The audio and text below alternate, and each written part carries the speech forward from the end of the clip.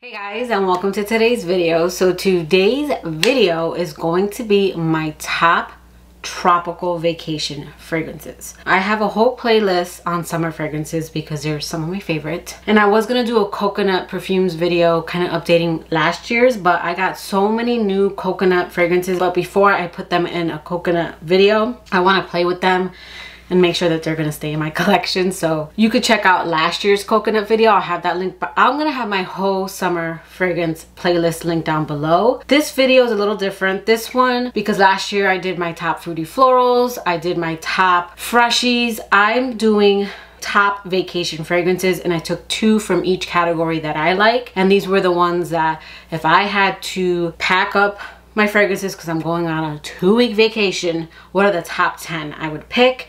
And I would want something in every category. So I have here my top coconut, my top suntanny beachy scents, my top sunset hour fragrances, freshy and fruity florals, kind of like that. So let's go ahead and get into the list. So we're gonna start off with kind of my more casual, just chilling by the beach, kind of suntanny fragrances. Now I have a few now but the two that I ended up picking one wasn't really a suntanny one but that is Brazilian Crush Cheirosa 62 along with Boom Boom Cream and I had someone recently tell me that they it drives them crazy when I say boom boom cream except that's how you say it in Brazil. It is boom boom cream it's not bum bum cream. I'll insert a little clip. Pronounced as boom boom in Brazil just so you know this is one I would take on vacation. Just because it's easy to carry around on vacation. It's one that when you pair it up with the cream at least on me it lasts. It's one that I've gotten compliments on even hours after having it on. This performs really well for being a you know a body mist and so does the cream. And it just reminds me of a tropical vacation of being on the beach. To me it's a more casual scent. It's yummy and I just knew it had to be on this list. If I'm going on vacation, I'm definitely popping this in my bag along with Boom Boom Cream. So again, this is Cheirosa 62. Okay, so I knew I wanted to take a suntan kind of scent with me. And again, I recently talked about Sun di Gioia, which I'm gonna have that whole range review linked down below. And then I also have Beach Walk. But I'm still playing around with those fragrances. Instead, I decided to go with Dolce & Gabbana's Light Blue Sun yeah, psych. Hey guys, Messy Becky here. So, your girl just can't get it together these days. I wanted to keep that clip in with Light Blue Sun because Light Blue Sun I think is still a vacation in a bottle. It's a suntan lotion kind of scent that I would recommend, but it's actually one that I'm going to be letting go of. So I hauled Light Blue sun a little over a year ago. I had a larger bottle and really enjoyed the flanker. Light blue, the original is actually a pretty old scent. I think it came out in 2001 or 2. So it's a fragrance that is not only or was popular here in Florida, but reminds me of, if you've seen videos, it reminds me of my old marketing director. It was her signature scent. So I can't really enjoy light blue. Not that I can't enjoy it, I can appreciate the scent. It's kind of a classic, I would say, but I'm over it. And I actually started wearing Love is Love and I wore this one the other day working from home just this last week. And this one smells even more like the original. It's a little bit sweeter. It's got like an ice cream note that comes off kind of like sugared water almost to my nose. Doesn't really come off creamy maybe slightly lactonic but this one actually kind of is nice but it got a little annoying so I ended up popping this one on top of it and this one just has too much of the DNA as well and I thought maybe because I wore that one and popped this one over it but I ended up wearing this the next day to the gym and I couldn't wait to come home and kind of wash it off. Again, it's there's nothing wrong with the scent. This is light blue, but a more suntanny kind of version but I'm just over this scent. So I'm actually going to be passing these on and then I'm going to be shifting some stuff around.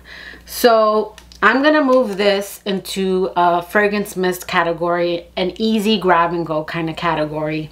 And then I have two more suntanny scents to go over. So along with this one, I wanted to pop in at the beach from Bath and Body Works. This is really nice kind of citrusy coconut musky scent. So I wanted to create a new category. We're still gonna have a top 10 fragrances, but these are two honorable missed options. If you don't wanna spend money, I have here inspiration, designer, and niche. So I have a little bit of everything. And then I'm gonna go into my suntanny. Now, the first one I'm gonna go over was actually in my coconuts category, but like, like I said, I, I moved some things around. First so. up, we're gonna go over Floriental Coconut by Dossier. And this is supposed to be an inspiration to Tom Ford's Soleil Blanc.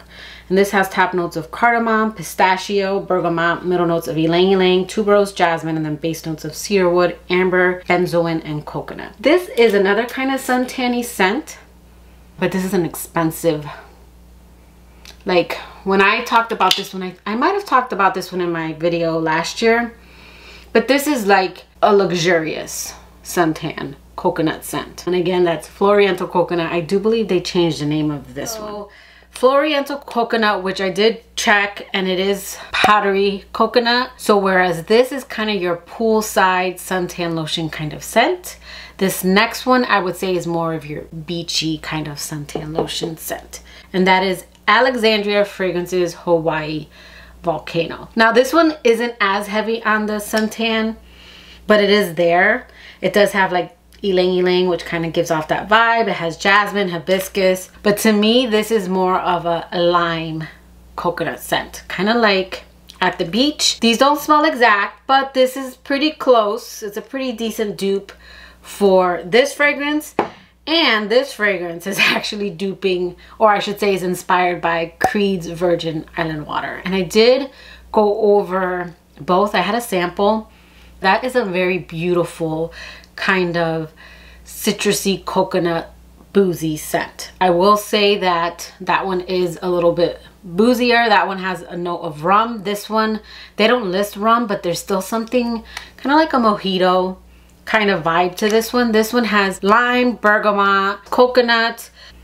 There's also musk and woodsy notes in this one. There's ylang and there might be jasmine. I'm not too sure. But for me, this is about the course. This is a lime, coconut, woodsy, musky scent. And I will say that the coconut shines in the high heat of summer.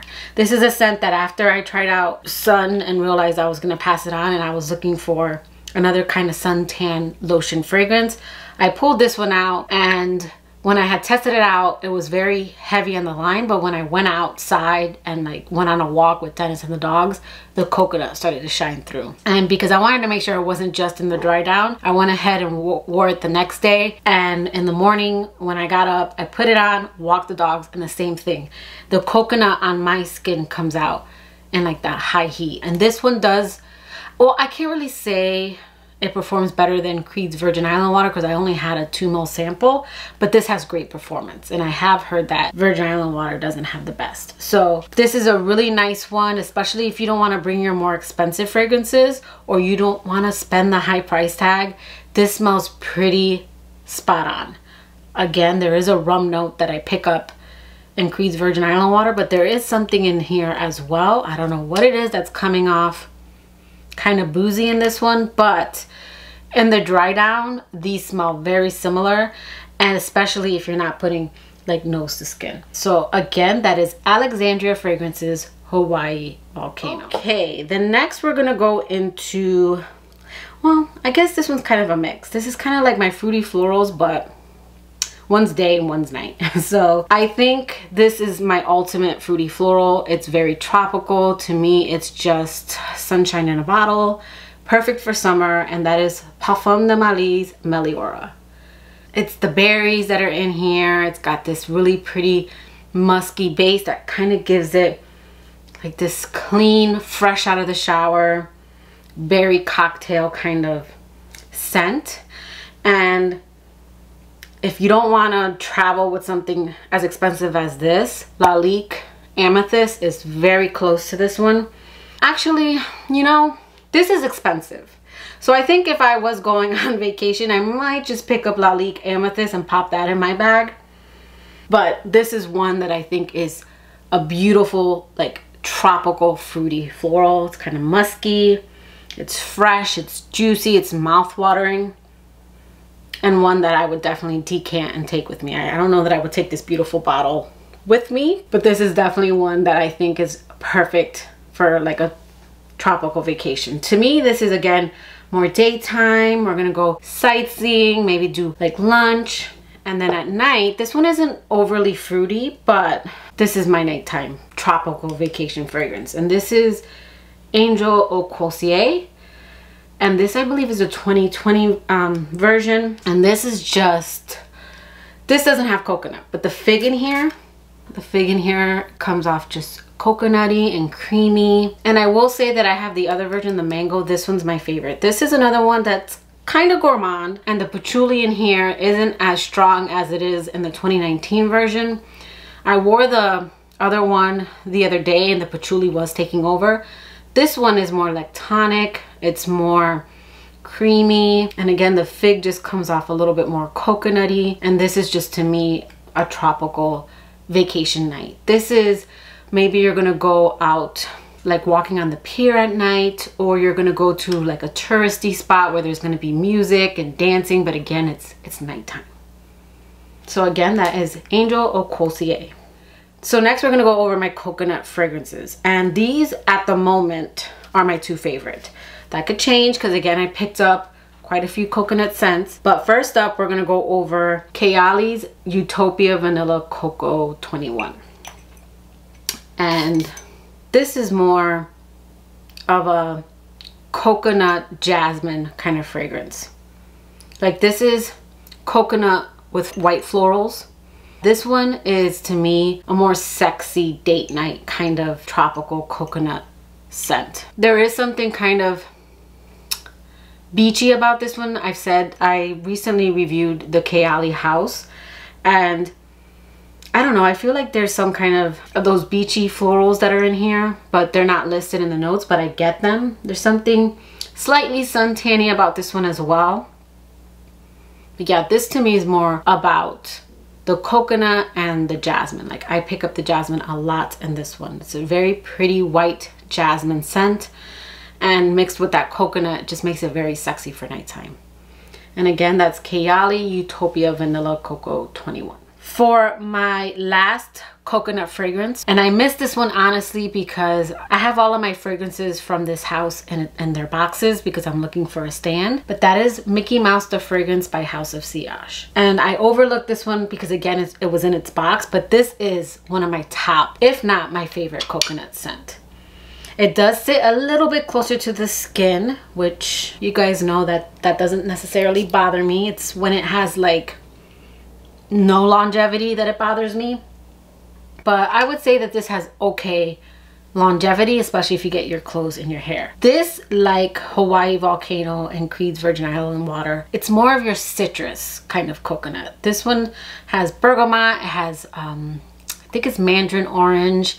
There is, there's cardamom in this one, so it's got kind of a soft, spicy, like a soft spiciness to this one. And this one has cacao and tonka bean and sandalwood. I don't get the orange blossom in this one. I don't really pick up any floral notes. It's more of a very soft, spicy, kind of citrus coconut scent, but it's not as heavy on the citrus as this one is. It's a softer kind of citrus. The bergamot does lean a little bit more on the greener side than I would say kind of like lemon. It, it does lean a little bit more like lime, but it's not as strong as it is in Creed's Virgin Island Water and Hawaii Volcano. This is a top coconut fragrance. This is definitely vacation in a bottle. And again, that is Mickey Mouse the Fragrance by House of Sillage. All right, next category is sunset. These two fragrances I wear all day, but they just give me that kind of sunset vibe. So first we're gonna go over Olympéa by Paco Rabanne. And this is, this is the sun setting on the beach. You get a salty, fresh, beachy kind of scent. Something very light and sweet, which is the vanilla. The vanilla doesn't come out heavy. Even after having this fragrance for a little while, it doesn't get overly vanilla like it does on other people. On my skin, I pull more of like that fresh salty air. yeah, this one's more of a vibe to me. This is, again, you're on the beach, it's empty, it's a cool beachy breeze, and the sun is setting. And again, that is Olympéa by Paco Rabanne. All right, another kind of slightly gourmand. I think this one's considered a, a gourmand, but it's my favorite kind of gourmand. This is Soleil Lalique. So think this one is considered like a floral fruity gourmand. This scent is beautiful. When I first got this one, I was like, oh, it's pretty. It's not revolutionary, but this is a lifer for me now. This is Lactonic. It's kind of nutty. There's a lot of notes in this one. It's fruity. There's something soft spicy about this one. This is another one that kind of reminds me of the sun setting. This is one that I think it's beautiful transitioning from summer to fall. I think it's the soft spiciness that kind of gives me fall vibes, but this is definitely to me like, like a summer gourmand. I know it's kind of weird, but this scent was one that I really liked it when I hauled it. I just didn't think it was worth the price, but I would I would buy this fragrance over and over again. I hope they don't discontinue it because I just, I love this fragrance. I don't know why. It's not anything, like I said in my review before, it's not anything like, oh my God, this is so unique. But I just think it's beautiful. It's just got so much going on to it. It's got a lot of personality to me. But yeah, that is Soleil by Lalique. And this is just, again, the sun setting on the beach.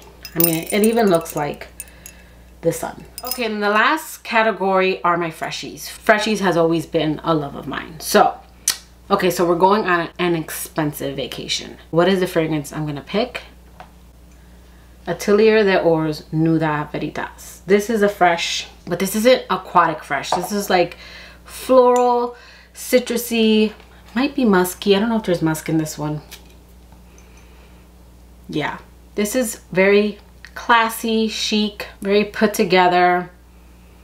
You're going on vacation, you're you have an all white summer dress on and I just know that if I want something fresh but smells expensive, this is the scent that I would grab.